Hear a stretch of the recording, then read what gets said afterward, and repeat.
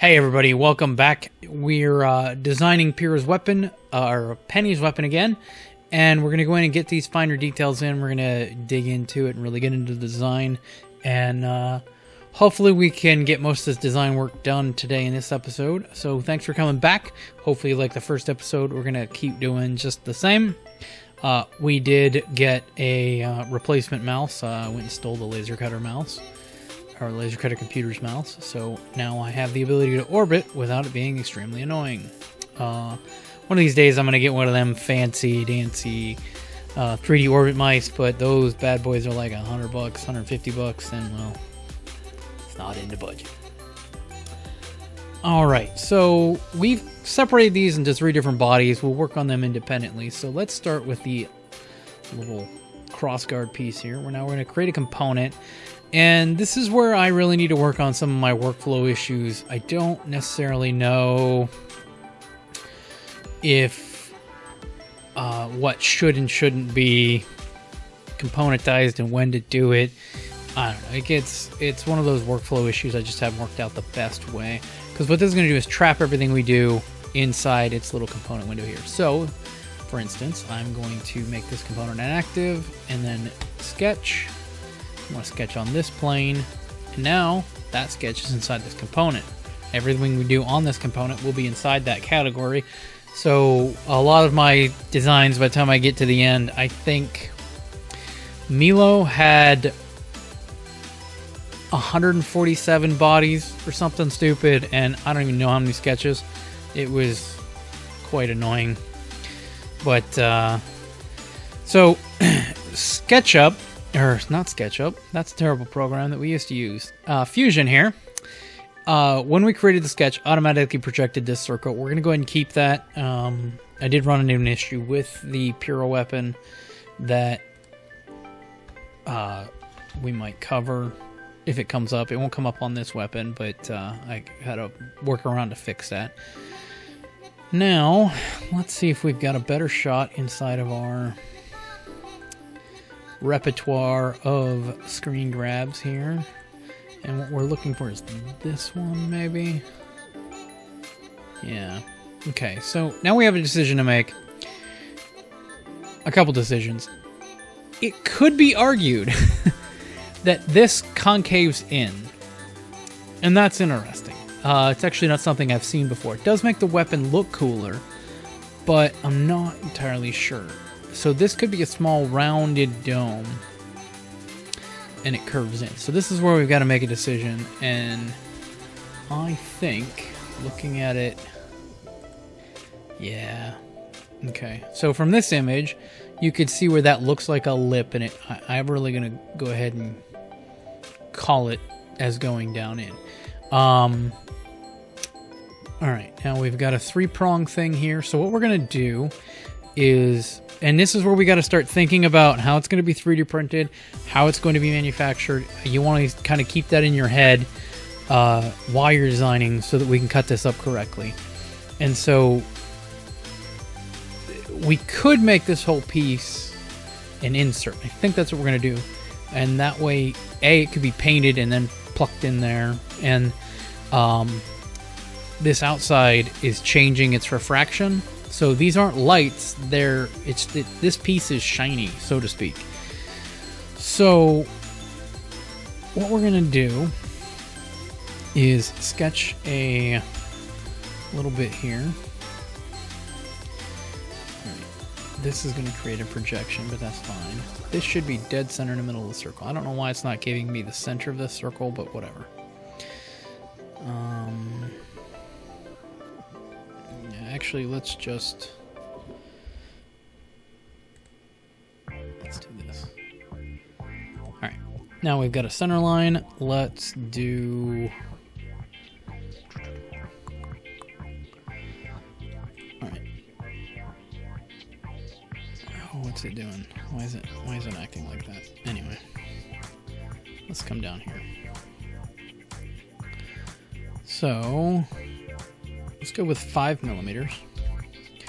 And this is one of the other things that I'm fairly certain there's probably a better way to do it, but this is just the way I do it. Oh, how do we want to do this? do they look uniform? They do. They, they look like little squares. So if we're going to make it 5 millimeters deep, we got to make it 5 millimeters wide. So that'll be 2.5 millimeters and 2.5 millimeters. Nope, not 20.5. 2.5. Alright, what I'm going to do here is something a little different. I'm just going to create these two lines. I'm going to try something. I don't really do it this way, but it might be better. So we're going to use the extend tool. Uh, boom, boom. That works great. Normally what I would have done is drawn this to that line, and that's not necessarily... This puts that on that line, so it's perfect. Uh, now I'm going to select this line and hit X. X turns that into a construction line. So now when I go over this face, I'm not getting one or the other square, I'm getting the full square. So we're going to go into a sketch, and because this is a repeat pattern, we're going to create a circular pattern. We want the sketch objects, so it's all of this jazz. The center point is going to be the center point of the drawing. Oh, come on. Why is it not giving me? There is no point there. Okay. Let's just draw a circle here. That's gonna force. I think it projected this line, but did not project it as project it as a circle. So I think that's been the issue. So now, as you see, we got this point, which is our center point. So go back to the circle thing. I need to, yeah, those need to be docked different. All right. Now it wants to select the objects again. This guy, that guy, that guy, and that guy. And we have our center point. Now it's going to try and do it all three. It's going to try and do it in a circle. And actually, looking at this, uh, we'll do it. We can edit it here in a minute. Um, there's two ways to do this. We can tell it to do an angle. And as you see here, it's exactly what we need. It's 180 degrees stretched over that. However, it's backwards. so let's try that. Did that fix it? It fixed it. All right. So we just put a little negative in there. Let's flip that over. Now, I think we have an issue. And I think this is too small. And that is concerning. Uh, let's look back at our reference. Actually, we have a canvas in here. So let's pull the canvas up. And now, because we've got more than just little tiny sketch lines, oh, stop. Edit the sketch. We're going to increase our opacity so we can kind of see what's going on. And I still can't really see.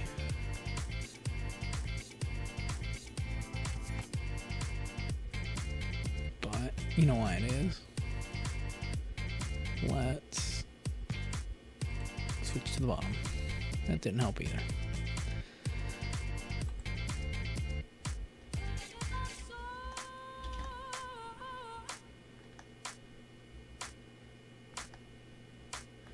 Let's turn the body off. Maybe that's what's kind of glitching my brain here. It's just really hard to see this and don't know why. This should be brighter. Let's switch back to this component. Okay, here we go. That it was graying it all out. Uh, it also has showed a glaring problem. We enlarged that, so it's probably not an issue.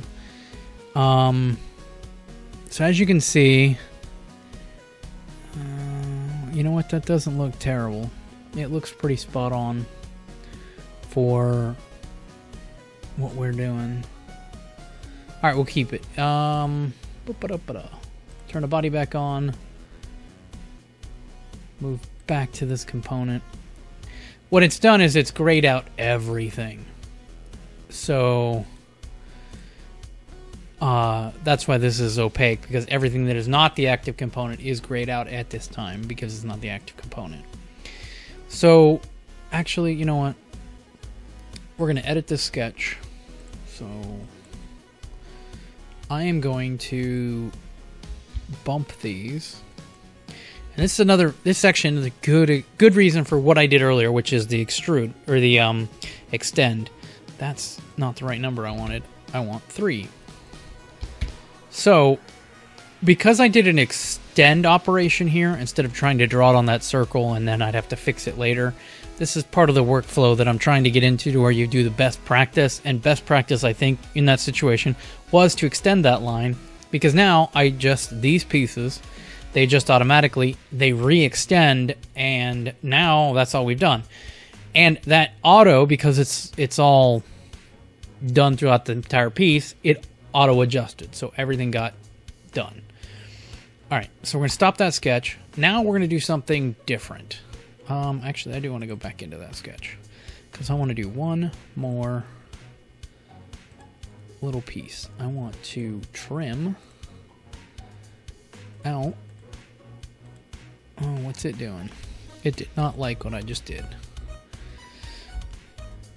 Okay, here we go.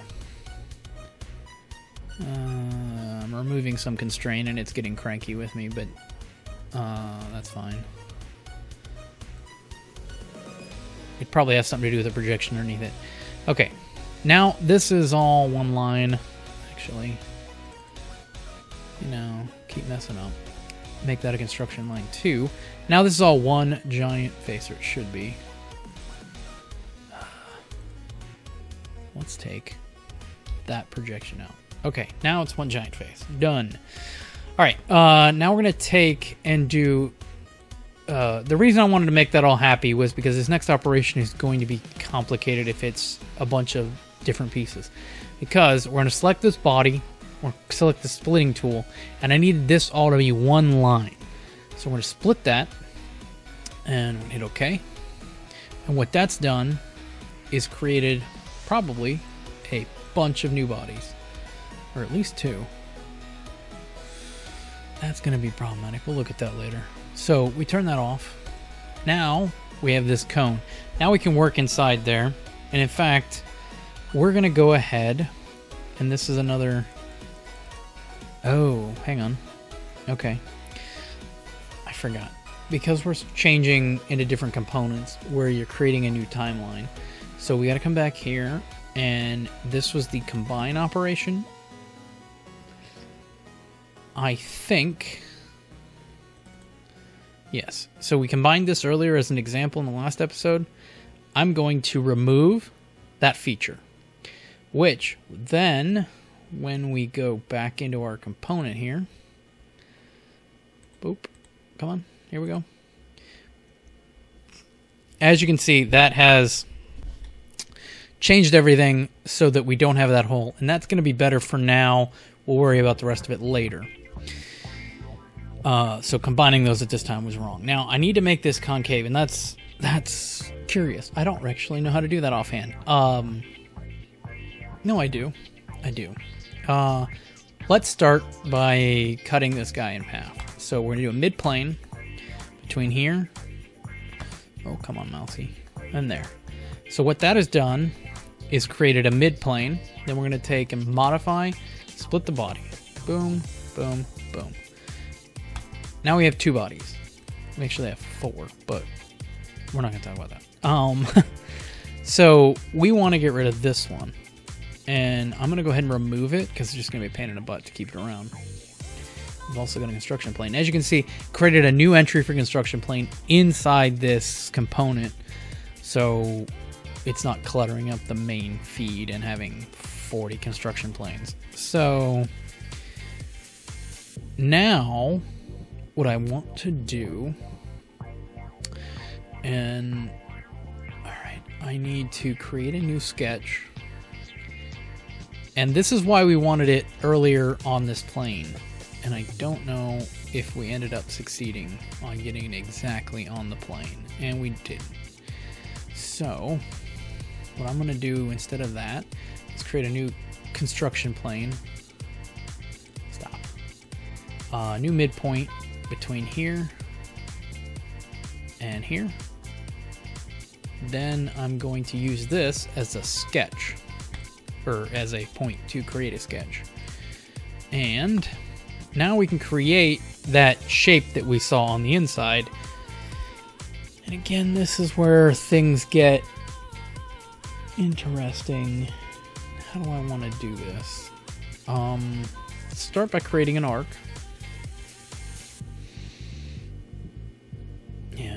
Three point arc from here to there. We don't want to go too deep. But if we do this,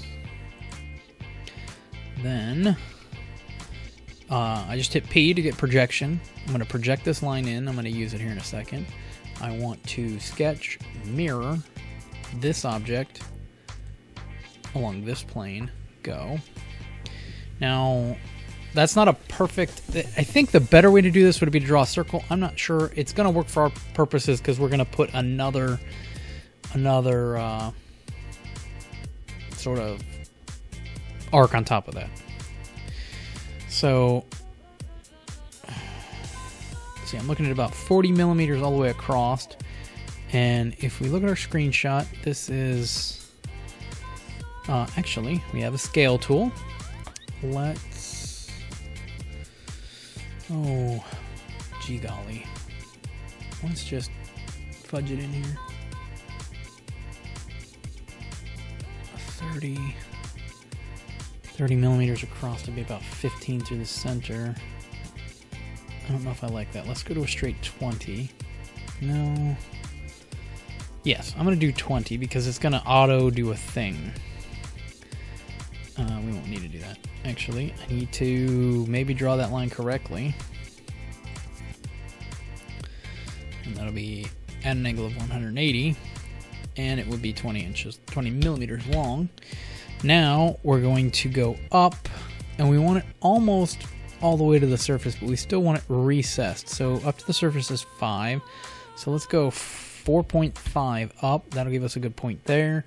Now we create a new arc. And because I used SketchUp for so many years, it took me months to stop hitting A there because A is going to cause an entire process. It's going to open the um, Appearance menu. Oh, it's terrible. It'll just hurt your brain. Well, it hurts my brain. I don't know if it'll hurt your brain.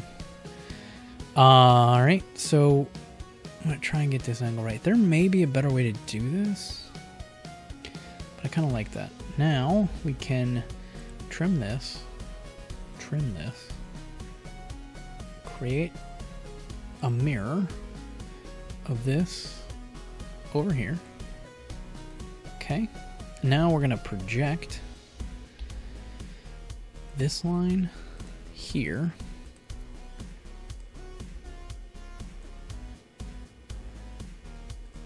Why did it not project all of those lines?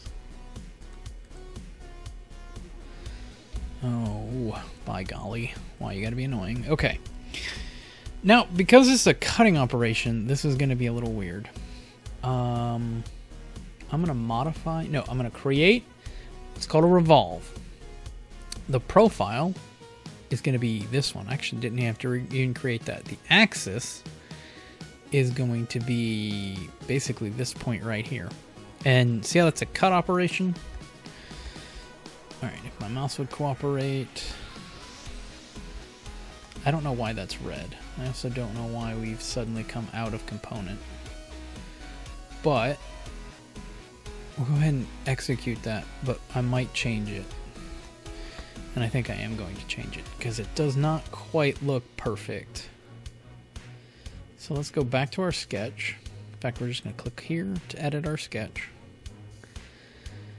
I like this. This was fine. I did not like this distance, but I deleted everything. So let's change. Let's do this we're just going to back up through life and all of that. Now we have this, and I want to... Hmm.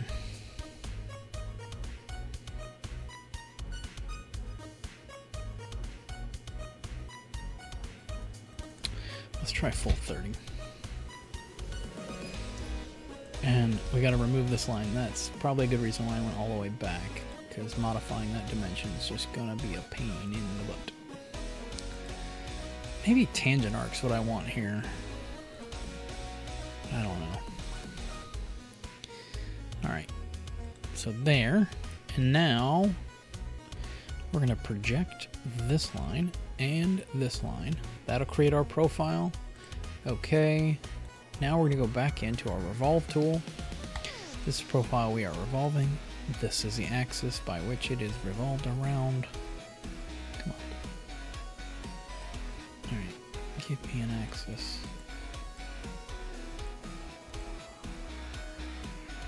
Oh, that's fine. Boom. Okay. So cut operation. Boom. Alright, so let's look at this. Now, let's get rid of that so we can see it better. Unfortunately, we did pick up this line, so we may change the way that that was done to get rid of that. Or I could just hit delete, see if it goes away. It didn't. Um, but I think that looks right. Let's turn our other body on and look at the whole thing. So I think that's the detail work. That that's what we want. Uh, there is a small change I need to make, so we're gonna go back into this sketch. And instead of this line and this line, I'm going to try to do this. And this is probably not best practice either, but we'll see what happens. Okay, got rid of that weird line. Um, sometimes it's just a small variation. I don't understand why it does that sometimes. Uh, maybe doing the projection was bad. Maybe that has a slight slope to it. It shouldn't, but I don't know. Regardless, we have our part now, and I think that is good to go. And what we'll do is keep this as an individual part. So we're not going to combine them. We're going to go to... Oh, gee golly. Where am I looking? I need to mirror this. Hope I want to mirror the body. And the plane will be the bottom here. Boom. It's going to create another entity. But we're not going to... I don't think we're going to do anything more to this because that's going to be what you would call... see, what are these? Are these in... Which body is that? That's odd. Why is that data in there and not in here? Alright, so we're not going to do that for now, because I don't know what that is, but... So essentially, and I'm going to go ahead and hit A. That's going to pull up our appearance tab, and this is just for my sanity. I don't like this clear stuff. It drives me bonkers. So what we're just going to do is drop some color into here. Let's look at a glossy black paint for the center. Okay. Um, that will help with my sanity. So, as you can see, we'll be able to insert these pieces. Now, later when we 3D print it, or go to 3D print it, we're gonna change some stuff here. There needs to be some extra bits in here. So we'll have to make a decision at that point whether or not we want to print this as one piece and then let them paint it. I'm not entirely sure how we're gonna do that, but we'll call this piece uh, effectively done. Uh, we could inlay this. You know what? Let's go ahead and do it. Um, good question. I don't know. Do I have a construction plane on the top of that yet? I do. Alright, we're going to use this to give me a top-down view. We're going to create a circle, and we're going to draw that little detail in. So let's go with 30. Now we're going to offset that circle by just a bit probably a full millimeter will work. All right, how does this work? It's like a Apple power on button. Um, yeah, so it is a straight circle. So, or um, it's a rectangle.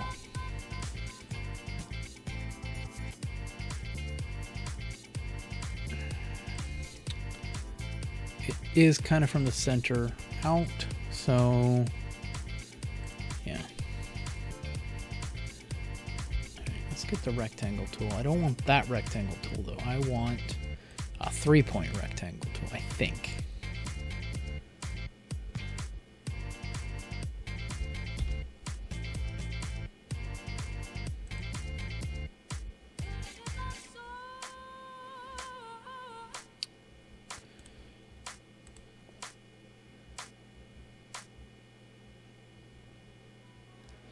Alright, how do we want to do this? How big do we want this? Actually, let's go ahead and do two. Nope.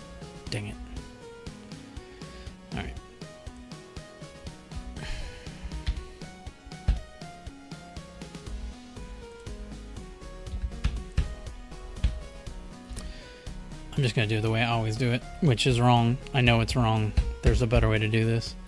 Alright, now we're just going to connect these two points. Boom, that creates that. Now that's not what we're going to use, but we're going to do this and we're going to shrink it in. Uh, let's shrink it in a millimeter. So then we can trim and use this outer bounding box to trim these guys. So they get out of the way. Trim all of this garbage on the inside. Trim this center line.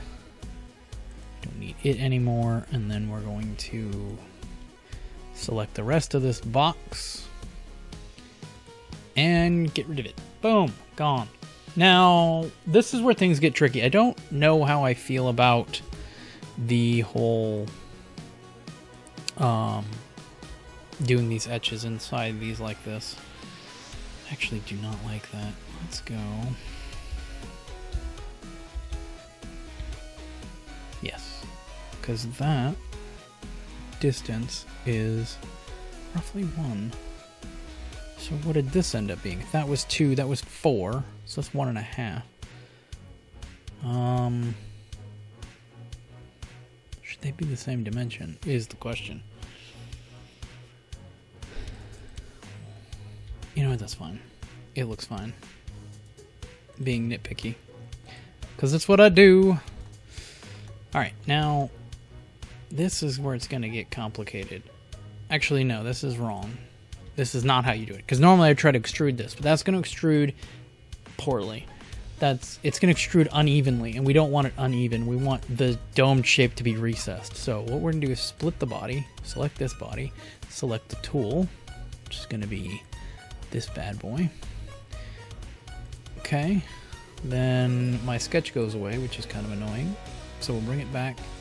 We will repeat split body this guy and select this is our tool. Boom. Now we're gonna go to modify, scale, select this and this body. Then we're gonna non-uniformly scale, and then we're gonna take this and pull it down. Um, Hmm, how far do we want to go here? Doot. Oh, come on, where are we at? Actually, don't even think that's going to help me. Oh, let's see. Let's go 0.9 just to start, and then we'll look at it. So that's kind of deep. Maybe too deep. Turn that sketch back off. I don't know why it looks so weird. Why did it... Again, we're into... The heck did SketchUp, or what the heck did Fusion do? Territory. So... Alright. Whatever. What we're gonna do is... Come down here. This should be a flat plane. Extrude this. Okay, that's what we did. It's at the bottom. Alright, we did something bad. Go back to the scale operation. We don't want the x distance, we want the z distance. Nope. Evidently we want the y distance. I don't know where it pulls these arc these arc references. It could have been an error in my original. non-uniform. What's the point? I want the point to be like right here. You know what? It doesn't matter. As long as it's on the bottom. Okay, there we go. Fancy dancy. All right. So now we can take this and go combine this with this tool body and this tool body. We don't want to cut operation, we want to join operation, and we don't want to keep the tools. So that's going to get rid of those bodies and it's going to reunify them, and then boom. Uh, that's going to be some distance. Some 3D printers are better with it than others. This is a dome shape. It's going to be annoying to print anyway. I don't know. But we'll worry about that later. So that's this piece done. Um, will go ahead and go into here. And we have a glossy green. So let's finish jazzing it up just to be purdy like. Okay. And that, I believe, is that. So that's our pommel crossguard piece. So as you can see, a lot of these things take quite a bit of time. So we're going to go ahead and hopefully be able to finish this up in the next episode. But we're going to go ahead and cut it here. This is getting pretty long, but uh, that's the crossguard piece done. We're good to go. I uh, hope that was informative. Um, I'm still kind of learning the software myself, but uh, it's really at a point now where for me it's best practices how not to mess your program up the best way. Um, so hopefully this has been informative to people. Hopefully everybody had fun.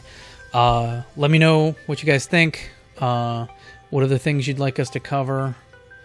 Um, what other frustrating lines can magically appear in our parts? But uh, anyway. so, uh, I'm Jonathan from CorSec Props. Thanks for stopping by, and hopefully you can check back again for the next episode where we try to go ahead and finish up this bad boy and show off the uh, finished part and then get ready to cut it for 3D. Thank you.